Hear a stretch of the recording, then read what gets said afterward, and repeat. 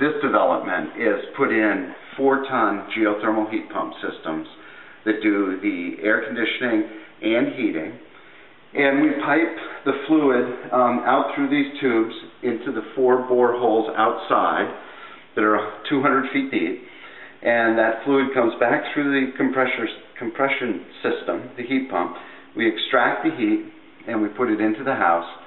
They run at about 350% efficiency. So for every unit of electricity that the owner buys, they're getting three and a half times that in usable energy. And that's why the systems, in the long term, the cost of operation is extremely low with them.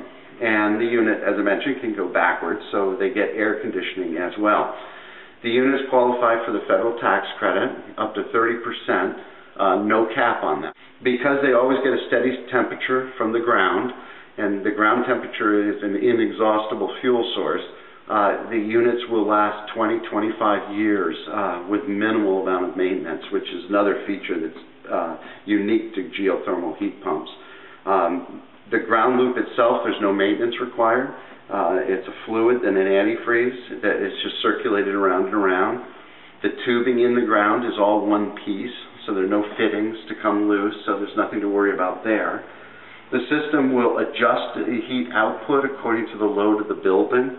So the compressor can fire itself one stage, two stage, or it can bring on a third stage. The fan, because it's a what's a DC or direct current motor, will ramp itself up or slow itself down according to the load of the building as well, or for ventilation purposes. So the system uh, maximizes the amount of energy it uses to run uh, to provide really incredibly low cost. Typically, they cost more to install than a traditional heat pump system, but that payback period always comes up.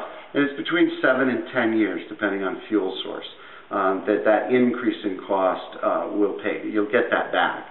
It is the most um, efficient system you can put in now uh, to protect yourself against long-term uh, energy increases. So by 350% or three and a half times for every unit of electricity you buy in the city of Seattle, that's like buying your, your fuel for two cents a kilowatt hour. It's an electric uh, unit. So uh, even as price increases come up in years ahead, you've really done a good job protecting yourself. So they're, they're quiet, they, they're very efficient, and they uh, pretty much take care of the whole indoor environment.